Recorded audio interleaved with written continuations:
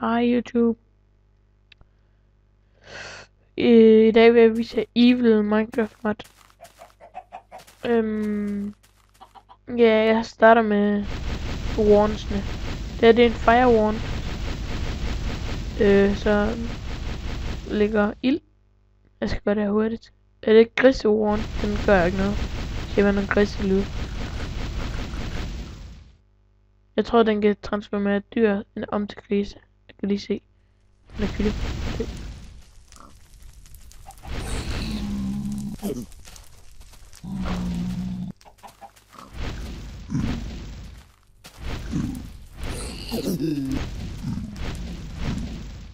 Nå, okay. Den laver bare zombie pigment. Den er laver black holes, og jeg ved ikke, hvad de der black holes gør. Kan man åbne dem? Og den er det Ice Wand.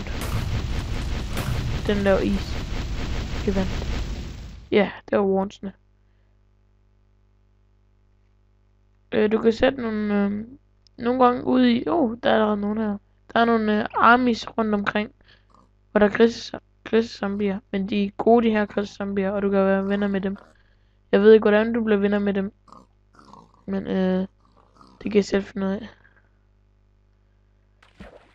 Okay, næste. Der er aber og alt muligt forskelligt andet mad herinde, som, og du kan lave bøger med alting i. Øh, eller næsten alting i. Du kan lave gift og du kan lave alt muligt forskelligt. Øh, du kan også lave en blowgun.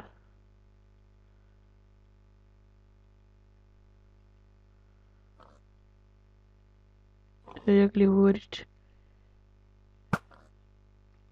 Og så er der aber. Nej, det der det er ikke aber. Men der er aber med. Eller jeg ved ikke, hvad det er. Jeg så bare nogle dyr ude i junglen, der ligner rigtig meget aber. Ja, næste. Du kan være forskellige mænd i, um, i spillet.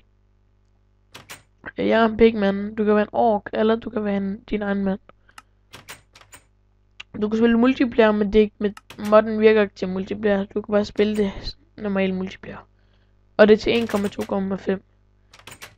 Øh, du kan have texture packs på. Jeg har bare den normale texture pack lige nu. Og ja. Øhm, den der sletter jeg lige. Det er den, vi lige var inde i. Den der sletter jeg også lige. Den var vi lige inde i. Den der sletter jeg også lige, for den var vi lige inde i. Så er det her tilbage har er min normale, den som jeg plejer at spille på. Øhm, ja, man kan finde de her tårne her, hvor der er nogle øh, forskellige, forskellige rum med nogle forskellige ting i. Dernede hvor potion rum, det var her allerede. Her er enchanting rum, som jeg ikke har lavet. Og her er soverum, som jeg ikke har lavet. Øh, da jeg kom op i soverummet, der var der en øh, troldmand lige her, der kiggede på mig. Altså, jeg så ham ikke. Jeg kom bare sådan her. Dum dit. Åh, en kiste. Åh, oh, hvad? Så vendte jeg mig om, efter jeg havde lootet. Ah! Og ja. Men det var bare modden. Nu ved I det. Og man kan lave sandwiches, og der er en masse andre mods i. Men jeg skal skynde mig lidt lige nu. Så vi ses YouTube. Hej igen YouTube. Jeg synes, videoen var rigtig hurtig den lige før. Øh, så jeg vil gerne lige snakke lidt bedre.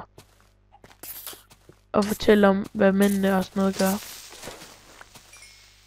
Jeg kan lige gå ind og se på dem øh, Testificate. Hvis du laver en ny world med ham, så spawner du i en village.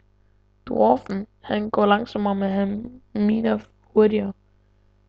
Han har dårligt melee attack og har jeg lidt liv. Men når jeg trykker shift, så... Øh, når man trykker shift med ham, så gemmer man sig. Pigman, han, øh, man kan være venner med andre pigments ude i det vilde. Og han er immun over poison. Halfling, han er øh, sulten. Han er lille, men han er ekspertfarmer, og han går 1,1 gange hurtigere end normalt. Ork, han er dårlig med bu og, og, og Bu og øh, svøm. Iron Golems hader ham, og men han er ekstra heal og ekstra melee attack, og mine hurtigere. Øh, texture packs virker, som jeg sagde før. Tror jeg, sagde jeg. Jeg tror, jeg sagde det før. Og så kan du gå ind i options og have sådan. Øh, det er for noget. Gå lige hurtigt. Gå herind.